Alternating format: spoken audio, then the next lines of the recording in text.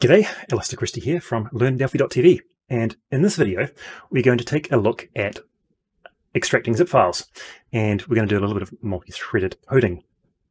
Now I had a thought, I was reading Dalija's book, uh, Thread Safety Patterns in Delphi, or Delphi Thread Safety Patterns, and I thought could you use, somehow write some uh, multi-threaded code to extract from a zip file. And I had a bit of a play around and I came up sort of some, with some sample code like this, uh, which does not work. And we can see that, uh, in fact, Dalija has answered the question saying no. There's issues with um, streaming inside the zip file. So let's let's write this code anyway, uh, and then we'll look at a solution to it. So, uh, well, actually, can we get too carried away, let's have a look at the single threaded version I've written here. So we're opening up a zip file, which just contains a bunch of video files, and I'm extracting them to a temporary folder.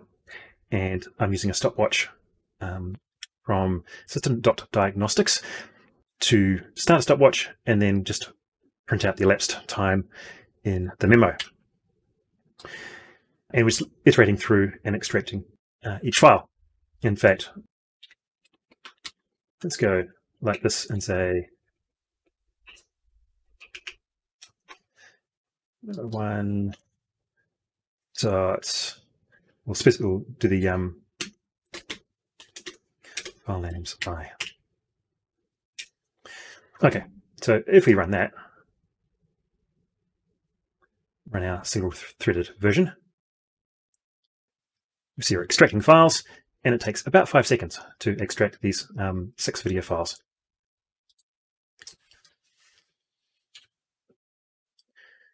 So in our bad button, go, well, in fact, I'll just copy and paste this.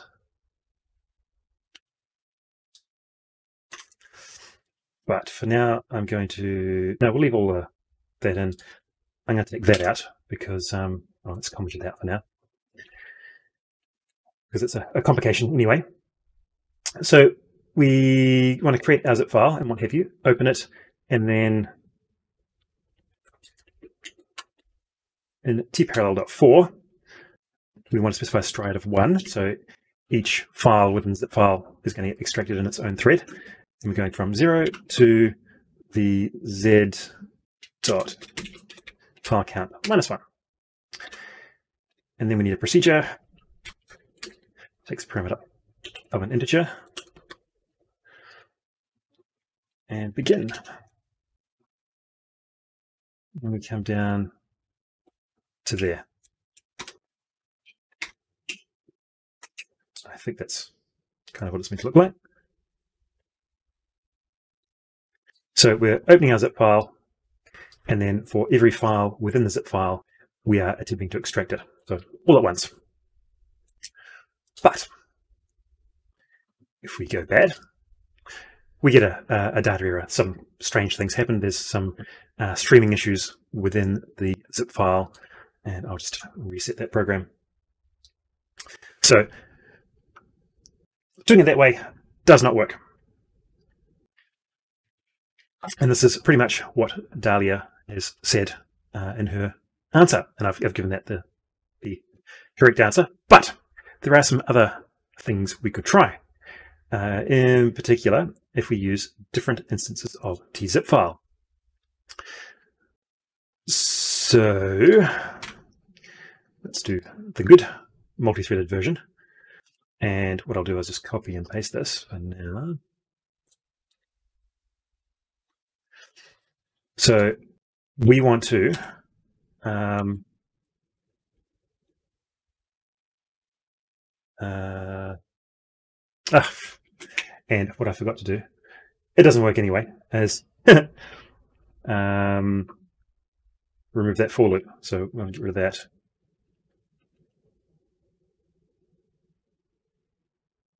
Like so. Let's undo I've gone.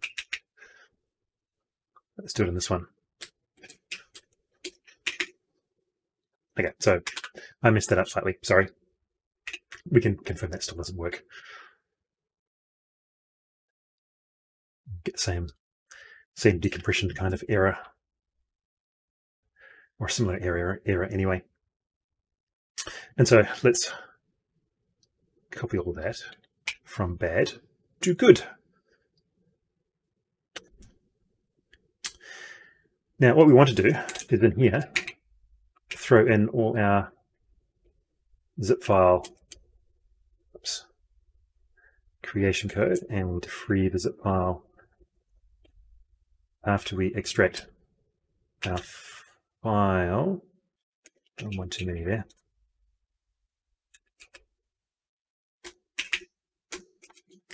And I'm just going to say var. So we don't need that anymore. And that I is probably redundant too. But we have one minor problem in that we don't know the number of files within the zip file. Well, I know what it is. It's six, so we'll specify five there. Just to get around that, we'd have to open another copy of the zip file to determine uh, how many how many files we need to extract. So now we're creating a thread, and inside we're creating a thread for each zip file. So we're creating six threads and extracting um, each of those uh, files. So if we run it this time and run good, we'll see that takes about two seconds. And if we run our single threaded version, we get five seconds. So we've, we've improved the performance by a factor of um, two and a half, which is pretty good. But considering I have uh, 12 cores inside this um, this machine, uh, each hyper-threaded, so that gives potential of uh, 24 threads. Um, two and a half is not, not, not very exciting, but it's better than nothing. And we're pretty much uh, uh IO bound, I think, is the issue. This is something that David Heffernan suggested um, somewhere. Ah, yeah, there we go. What's the benefit of this? Probably disk bound. Um, but the only reason it's not disk bound is that I have a NVMe SSD um, drive in there, the PCIe 4, very fast. So it can probably keep up a little bit with the CPU, but not not not very much. So um, yeah, that's the um, that is extracting the zip file using multiple threads. Now, one other suggestion uh, in that is that uh, in the Jedi JCL, there is uh, 7-zip support, which I've yet to try out. I probably will at some point when I get a chance. But that, I think, would effectively mean um, you're going to get... Um, 7-zip is pretty amazing in its performance. Um, it's yeah. so that's probably the way, uh, the way to go to get the, the best performance. Now, you might remember from the single threaded version that it's printing out the file names it is extracting. So it might be nice to do that for the uh, multi-threaded version as well. So if we go in here, and if I get to uncomment that line, really we can't do that because our Memo 1, it's a VCL control and it's sitting inside. It needs to needs to be accessed from the main thread, which is not a problem because we can go tthread dot synchronize and then just pass in an anonymous method.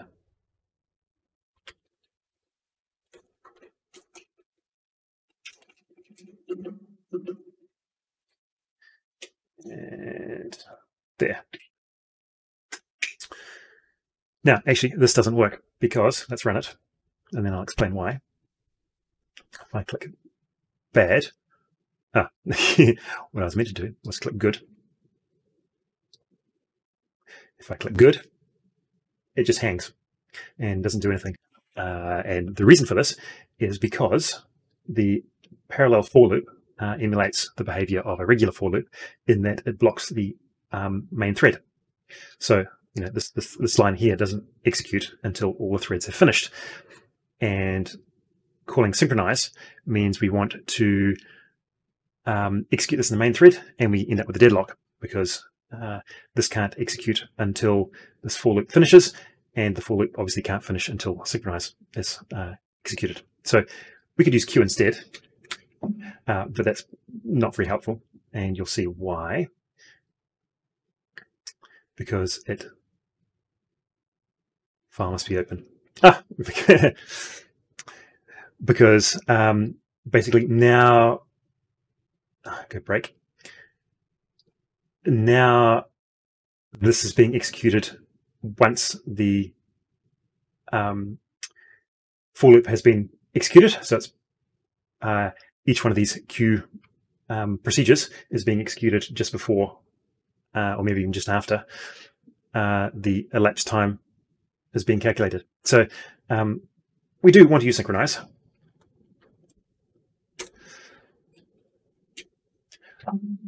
Oops. So we do want to use synchronize, but we actually need to execute the parallel for loop in a background thread, which means um, I could either use a t-task um, or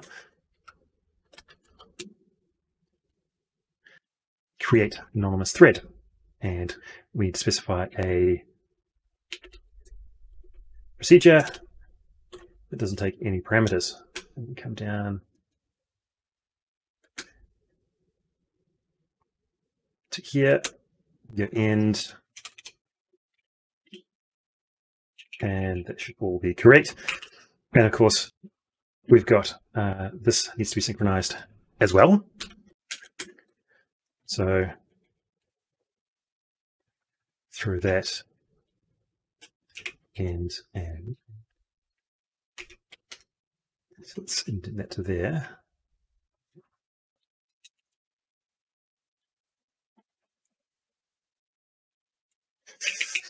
So our very little simple uh, for loop has become quite a monster. And uh, terminate the program. A nice thing about Delphi 11 is that a lot of the uh, ID insight and all that kind of stuff works while you're debugging. Um, let's run that. And I think if I've got everything correctly, and I've, what I've forgotten to do is I do this quite regularly, is dot start.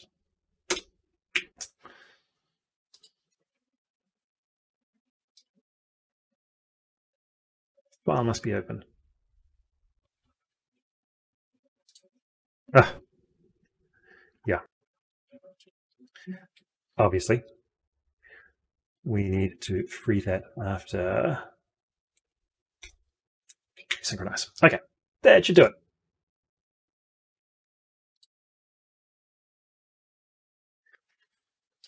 And we're still getting our sort of uh, taking two seconds or so.